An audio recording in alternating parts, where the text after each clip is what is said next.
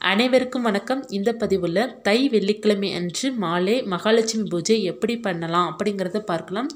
ரொம்ப எளிமையான முறை வழிபாடாக இருந்தாலும் அந்த வழிபாட்டின் மூலமாக நமக்கு வந்து செல்வங்கள் அதிகரிக்கும். கையில் பணம் எப்போதுமே இருந்து கொண்டே இருக்கும். அதற்காக நம்ம எப்படிலாம் வழிபாடு செய்யணும் அப்படிங்கிறத பார்க்கலாம். எப்போதுமே மகாலட்சுமி பூஜை நமக்கு வந்து செல்வத்தை அள்ளி கொடுக்குகின்ற ஒரு பூஜை. நம்ம மகாலட்சுமி பூஜை எதற்காக பண்ணுறோம் நம்ம நல்ல வசதி வாய்ப்புடன் வாழணும். எப்போதுமே செல்வங்கள் இருக்கணும் கையில் பணம் இருந்து கொண்டே இருக்கணும் அப்படின்னு நீங்கள் வார வாரம் வெள்ளிக்கிழமை கட்டாயமாக மகாலட்சுமி பூஜை பண்ணணும். எளிமையான முறையில் பண்ணாலே போதும். என்ன பண்ணணும் அப்படிங்கிறத பார்க்கலாம். மகாலட்சுமி படம் எல்லார் வீட்டிலே கட்டாயமாக இருக்கும். இல்லைன்னா ஐந்து படத்தில் ஒரு படம் லக்ஷ்மி படம் இருக்கும். அந்த படத்தை எடுத்து வச்சுக்கோங்க. எடுத்து வச்சுட்டு நீங்கள் வந்து காமாட்சியம்மன் விளக்கோ அல்லது குத்து விளக்கோ ஏற்றி வைத்து கொள்ளலாம். வைத்துட்டு அதற்கப்புறம் வந்து நம்ம என்ன பண்ணணும் அப்படின்னா உங்ககிட்ட மருதாணி இலை இருக்குது அப்படின்னா மருதாணி இலைக்கு மேலே ஒரு தீபம் ஏற்றி வச்சுக்கோங்க. இல்லை மருதாணி இலை அப்போதைக்கு கிடைக்கல அப்படின்னா நெல்லிக்கணி இருந்துச்சுன்னா நெல்லிக்கணி தீபம் ஏற்றி வழிபாடு செய்து கொள்ளலாம். இல்லை அதுவும் கிடைக்கல அப்படின்னா ஒரு அகல் விளக்கில் நீங்கள் வந்து தாய் படத்திற்கு முன்னாடி. நீங்கள் ஏற்கனவே காமாட்சி அம்மன் எல்லாம் விலை விளக்கு வந்து ஏற்றி வைத்திருப்பீங்க. காமாட்சி அம்மன் விளக்கு குத்து விளக்கு எல்லாம் ஏற்றி வைத்திருந்தாலும் திரும்பவும் ஒரு அகல் விளக்கு எடுத்துக்கோங்க.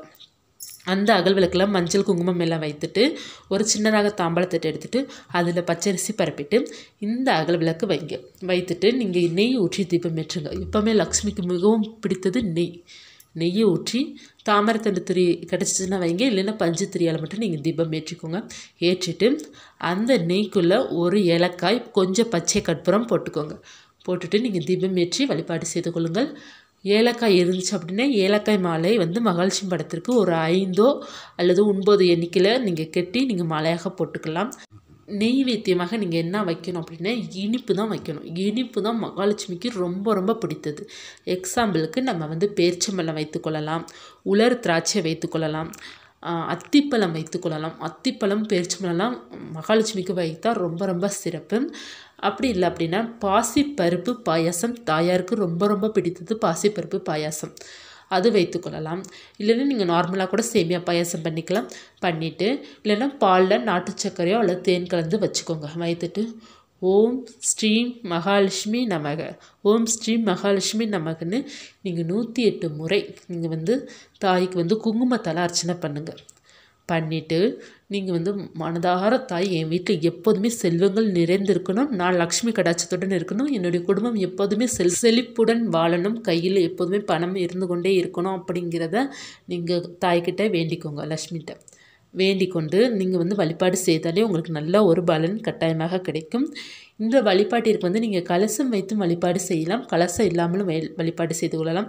கலசம் வைக்கிறீங்கன்னா ரொம்ப ஈஸி ஒரு செம்பில் வந்து தண்ணீரோ அல்லது பச்சரிசியோ போட்டு வாசனை பொருட்கள்லாம் அதில் போடணும். ஏலக்காய் கிராம்பு பச்சை கற்பூரம் கொஞ்சம் மஞ்சள் இந்த மாதிரி போட்டுட்டு நம்ம வந்து எலுமிச்சை பழம் இருந்தால் எலுமிச்சை பழம் கூட உள்ளே போட்டுக்கலாம். போட்டுட்டு நம்ம மேலே ஒரு நல்ல தேங்காயை மஞ்சள் பூசி தேங்காயை வைத்து அதற்கு மேலே வந்து நம்ம இதாக மலர்கள் சாற்றி கொண்டாலே போதும். இது கல கலசமாக ரெடி ஆகிடும் இந்த கலசம் வைத்து நம்ம வழிபாடு செய்து கொள்ளலாம். இந்த கலசம் பூஜை முடிந்த பிறகு கலசத்தை கொஞ்சம் வலது பக்கம் கொஞ்சம் நகட்டி வைத்தால் போதும்.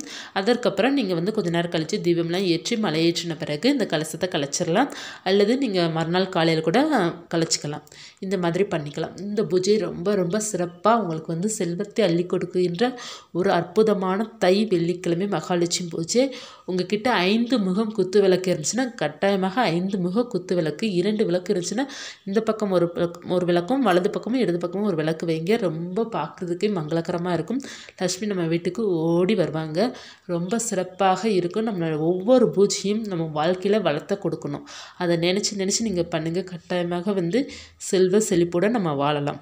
நெல்லிக்கனி தீபம்லாம் எப்படி ஏற்றணும் அப்படிங்கிறத நான் ஒரு டெமோ கொடுத்துருக்கேன். அந்த டெமோ வந்து நான் என்டிஸ்கிரிப்ஷனில் கொடுக்குறேன். வேணுங்கிறவங்க மட்டும் அதை பார்த்துக்கொள்ளுங்கள் இந்த பதிவு வந்து உங்களுக்கு பயனுள்ளதாக இருந்துச்சு அப்படின்னா லைக் பண்ணுங்கள் கமெண்ட் பண்ணுங்கள் சப்ஸ்கிரைப் பண்ணி வச்சுக்கோங்க. அடுத்த ஒரு நல்ல ஆன்மீகத்தலுடன் உங்களை சந்திக்கிறேன். நன்றி.